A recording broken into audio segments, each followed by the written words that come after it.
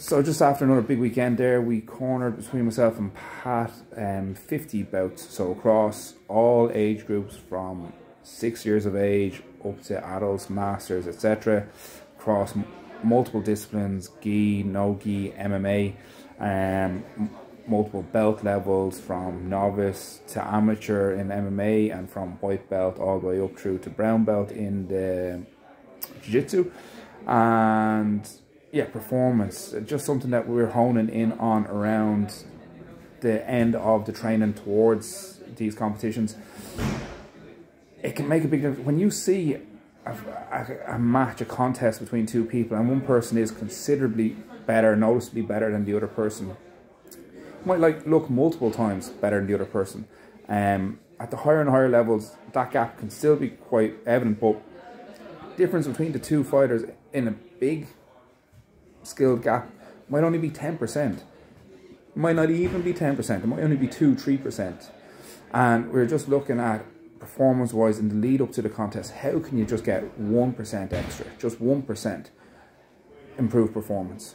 Some things that you can do is a camp for the event. You know, get specific with your training leading up to that event for, it's up to you, maybe five weeks, six weeks, eight weeks, whatever works for you if that can get you 1% better performance, it's well worth doing. Secondly, being in the right weight class. Some people are, you know, they're right at the bottom end of the, or sorry, they're at the top end of one weight class, but they just don't want to have to think about their weight, so they go into the next weight class. And, you know, lower level regional comps, you get away with that. The higher and higher level you go, the more important it is to be in the correct weight class for you um, and aiming towards that. Um, another one that can make a difference is just the warm up. The warm up before event. Some people ask them, why do you do a warm up? You warm up to get warm, obviously, and when your muscles are warm, you've a decreased chance of injury. And if you do the warm up right, you should increase your performance. The muscle will respond better, and um, you'll excite your nervous system, etc. You'll be more supple, and you'll be good to go. Again, maybe that can just make one percent difference to your performance. But if you're after getting 1% from that, 1% from a camp, 1% from being in the white, right weight class, you know, all these things add up.